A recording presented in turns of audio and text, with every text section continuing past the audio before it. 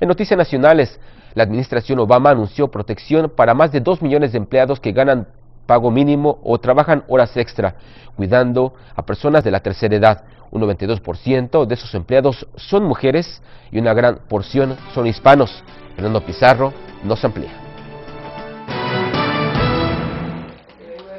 Blanca Gómez ama su trabajo, cuidando a una persona mayor. La persona que yo cuido son 10 horas, 8 horas, perdón, y ahorita estoy con una persona que son 7 días a la semana y un trabajo emocionalmente bien estresado y pues estaría bien si nos dieran un, un beneficio. La Casa Blanca quiere ir en ayuda de estas trabajadoras y anunció nuevas reglas para garantizarles salario mínimo y pago de sobretiempo a casi 2 millones de estas personas que cuidan a enfermos o ancianos en sus hogares. Estamos hablando de las personas que cuidan a, a, los ancianos, a la gente de mayor edad, las personas que están enfermos, que se quedan en sus casas. La mayoría son mujeres, casi 90%, y casi 12% son latinos, latinas.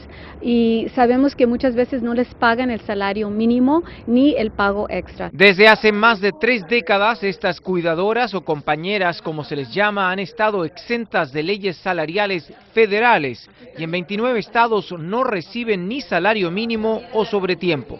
Otros 16 sí les pagan estos beneficios. Sí, a mí me parece bien porque nosotros no tenemos ningún beneficio y pues sí, es bastante responsabilidad cuidar a los señores.